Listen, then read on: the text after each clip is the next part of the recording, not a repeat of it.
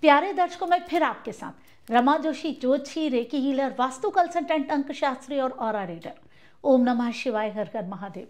आज मैं राहु केतु के बारे में इतनी इंटरेस्टिंग इतनी इंपॉर्टेंट बात बताने जा रही हूँ। मेरी गारंटी आपने किसी भी वीडियो में ये बात नहीं देखी होगी और आपको बिल्कुल डिटेल में एकदम पता चल जाएगा राहु केतु क्या राहु केतु के बारे में ये तो आप समझते हैं, मेरे बहुत सारे वीडियो है कि इनका कोई भौतिक अस्तित्व नहीं है, इनका कोई स्वरूप नहीं है। ये छाया मात्र हैं, ये ऊर्जा मात्र हैं, ये दिखती नहीं है, लेकिन इनका इफ़ेक्ट हम पे बहुत ज़्यादा या कहो कि सबसे ज़्यादा इन्हीं का इफ़ेक्ट होता है। अब हम समझते हैं, एकदम डिटेल में सबसे छोटी ऊर्जा के थ्रू सबसे छोटी ऊर्जा कौन सी है इस दुनिया की? एटम। हमारे धर्म में क्या कहा जाता है? कण कण में। भगवान भगवान मतलब ऊर्जा। हर कण में सृष्टि के ऊर्जा है। छोटे से छोटे कण में ऊर्जा है।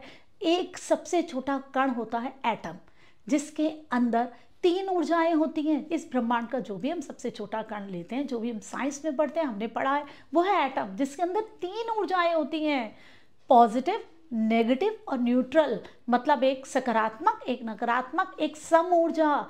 एक एटम, एक कण इतना छोटा होता है जिसे आप अपनी आँखों से नहीं देख सकते, अपनी नंगी आँखों से नहीं देख सकते। आपको उसे देखने के लिए माइक्रोस्कोप का यूज़ करना पड़ेगा। अब देखिए, केतु क्या होता है?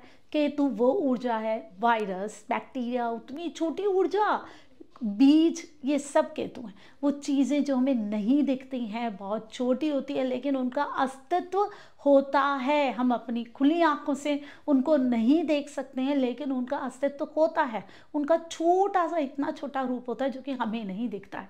वो होता है केतु। एटम जो कि एक सबसे छोटा कण है, जो कि उसका भौतिक स्वरूप है। वो स्वरूप जो कि हमें खुली आँखों से, नंगी आँखों से नहीं दिखता, जो हमें कैसे दिखता है? माइक्रोस्कोप में। वो केतु है और जो उसके आसपास से ऊर्जाएँ आ रही हैं, सकारात्मक, नकारात्मक और सम, वो राहु है। इससे अच्छा डिस्क्राइब नहीं कर सकती मैं, या मुझे नहीं लगता है कि कोई भी राहु केतु को कर सकता है।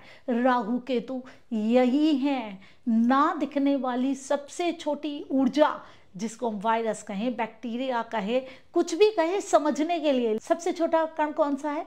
एटम है। एटम जो कि हमें दिखता नहीं है, वो जो उसका अस्तित्व है, जो उसका स्वरूप है, वो है केतु, जो अपने आप में है और जो उसके आसपास ऊर्जाएँ है, वो राहु है। बस इतना ही हमें समझना है। हमारे आसपास जितनी भी ऊर्जाएँ हैं, सब रागु हैं और जो चीज़ों के अंदर सबसे छोटा कण है जो हमें दिखता नहीं, हम बात अपने भौतिक स्वरूप की, दिखने वाली चीज़ों की नहीं कर रहे। हम उन चीज़ों की बातें कर रहे हैं जो हमें नहीं दिखती, जो हमें माइक्रोस्कोप से दिखती हैं, जो साइंटिस्ट को पता होती हैं, वो केतु है।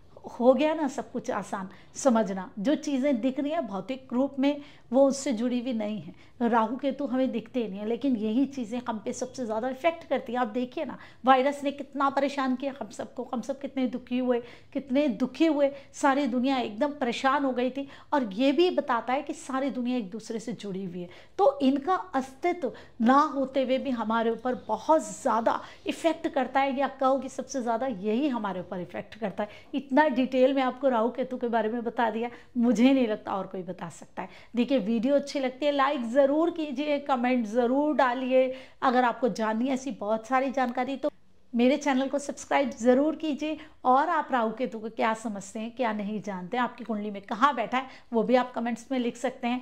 जुड़े रहिए मेरे से, अगर आप अपनी कुंडली दिखाना चाहते हैं तो मेरा नंबर इसमें दिया हुआ है, आप मुझसे संपर्क कर सकते हैं, मुझे व्हाट्सएप कर सकते हैं। ओम नमः शिवाय, हर कर महादेव।